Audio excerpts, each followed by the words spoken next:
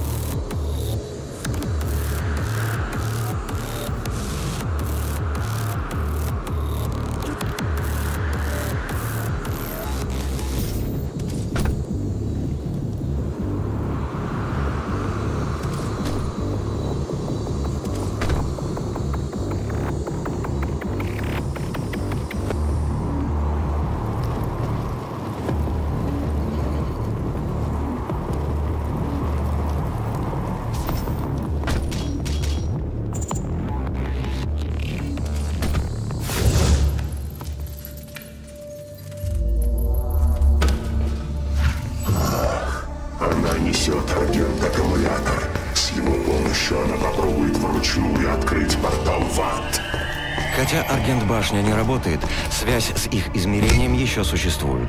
Мы в огромной опасности, доктор Хайден.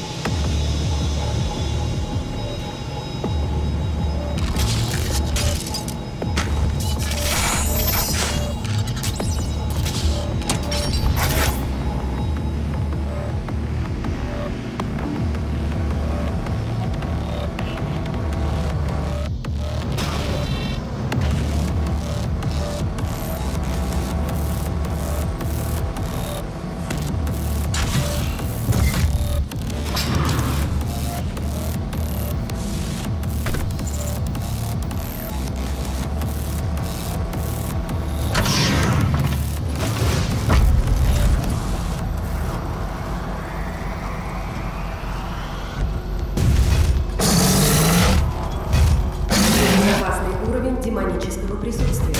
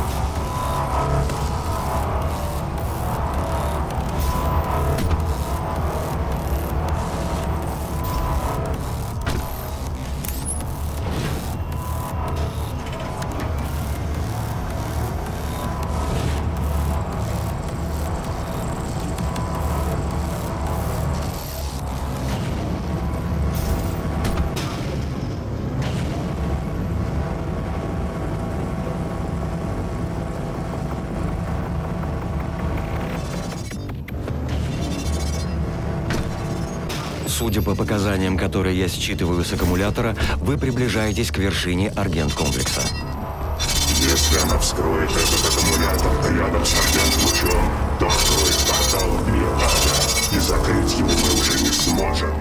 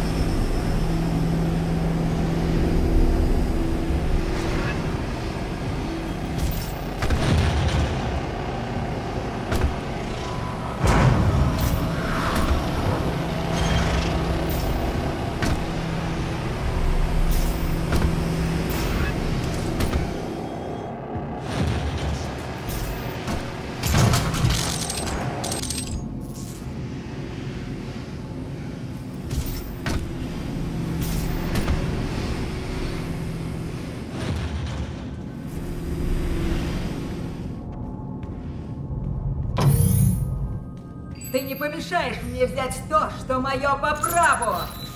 Что было мне обещано!